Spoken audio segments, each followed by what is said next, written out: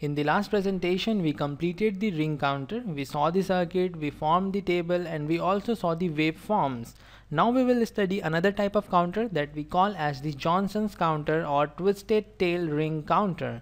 If I compare these two counters, I will say that the Johnson's counter is much much better than the ring counter that we studied in the last presentation. I am having two reasons for it. The first one is the number of state. If you remember in the last presentation I told you the number of state is equal to the number of flip-flop used and we used four flip-flops there so the number of state was four.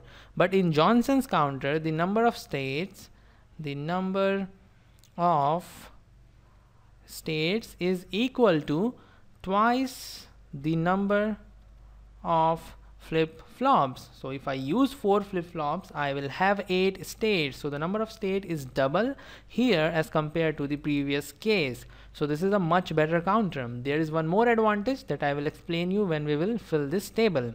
Now let's see what are the changes that you have to make in the circuit to get the Johnson's counter. The first change is shifting to the clear input than the preset input.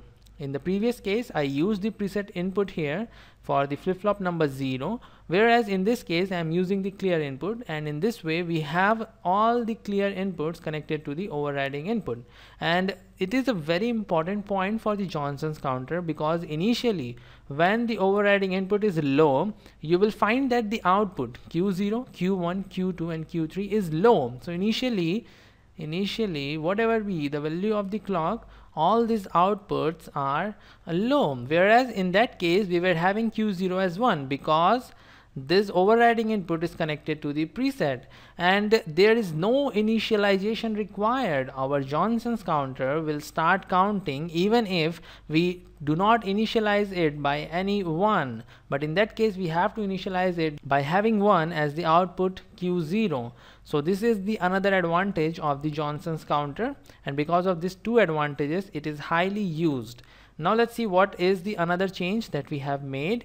You can see q3 is not connected to D0 whereas Q3 complement is connected to D0. So these two changes will convert your simple ring counter to the Johnson's counter. Let me revise it down. What are these two changes? The first change is you have to use clear input of the first flip-flop instead of preset input and the second change is you have to use the complemented output and give it to the input of the first flip-flop instead of Q3 and in this way you will have a Johnson's counter. Let's see how it counts. I have already written the output when the preset input is low and now we will make preset input high for rest of the cases so that the clear will not interrupt the output. For clock you can see the flip-flops are negative edge triggered so all the changes will be there for the falling edge. So this downward arrow represents we have a negative edge triggered flip-flop. And uh, let's find out q0 q1 q2 and q3 when q3 is 0 q3 complement is 1 and this q3 complement is connected to d0 so d0 is 1 i am finding out the input to all these four flip-flops. Then we will see the output. So d0 is 1 d1 is definitely 0 all these outputs are 0 and q1 was 0 therefore d2 is also 0 q2 is 0 therefore d3 is 0 now we will find out what are the outputs when we have the first falling edge. I will change the color for this purpose.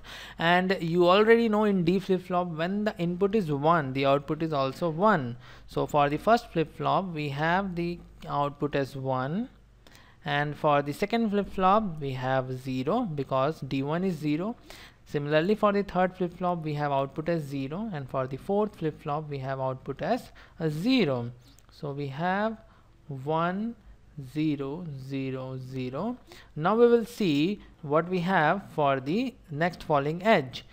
Q3 is 0 so again q3 complement is 1 so D0 is again 1 so I'm not doing any overwriting here. I will keep it 1 you can see Q0 is 1 so D1 will now become 1 Q1 is 0 so D2 is 0 Q2 is 0 so D3 is 0 and in this way we have the four inputs. 1 1 0 0 so the output is 1 1 0 0 simple so we have 1 1 0 0 let's see for the third falling edge. Again q3 is 0 so q3 complement is 1 so our d0 is 1 i'm not doing any overwriting i will keep it 1 q0 is 1 so d1 is 1 q1 is 1 so d2 is also 1 q2 is 0 so d3 is 0 let's see what we have now as the output.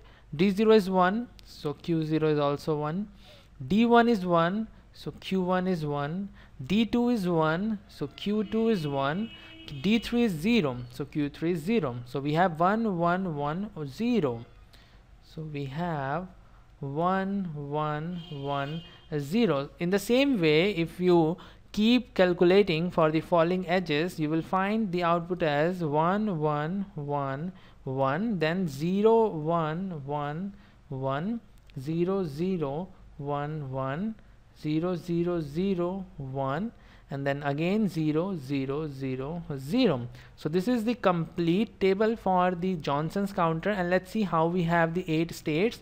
0 0 0 0 is state number 1 1 0 0 0 is state number 2 this is state number 3 4 5 6 7 8 and finally we have 0 0 0 0 same as the state number 1 so you can see we have 8 states in Johnson's counter. This is one of the advantages. And you can easily prove it by the waveform. I have already made the waveform here. This is our clock that is given simultaneously to all the flip-flops. And this is the clear input. When the clear is low we all know that the output of the flip-flop is also low. So q0 is low for the first falling edge then it goes high.